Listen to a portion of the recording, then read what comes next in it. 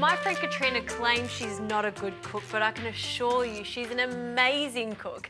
And today I'm going to be doing one of her specialities, which is veal wrapped with asparagus, prosciutto and provolone. It is to die for, and I'm also going to be serving it with a rocket salsa.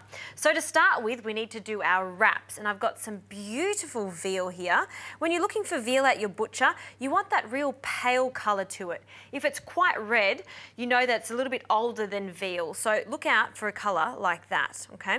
And when you're asking for your scallopinis, which is just flattened out veal like this, ask them to get it really thin, as thin as you can go. This is about half a centimetre thick. So we're going to start filling this with all these beautiful flavours. To start with, we need some prosciutto, and one of my favourites is San Daniele prosciutto, but you can also use Parma. You want to get your deli to cut it quite thin, so it's almost shaved pieces of prosciutto there. And we just want to almost get it to the same size as that piece of veal, just one thin layer of that. Next step is the provolone. I think it's much easier to get a peeler like this and simply grate thin pieces of this.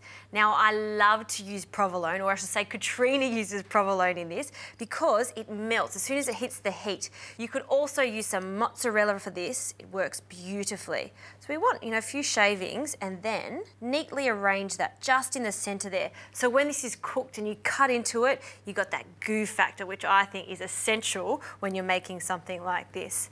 Last but not least, some asparagus. And I've just cut the woody ends off we just put that to the bottom end like so, a little glug of olive oil, and I'm not seasoning this with salt at all. I think the prosciutto's salty enough.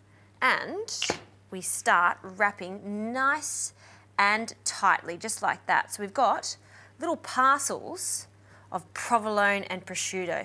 Now you can see this is why we've asked our butcher to just really pound that meat quite thinly because it becomes quite a thick parcel there.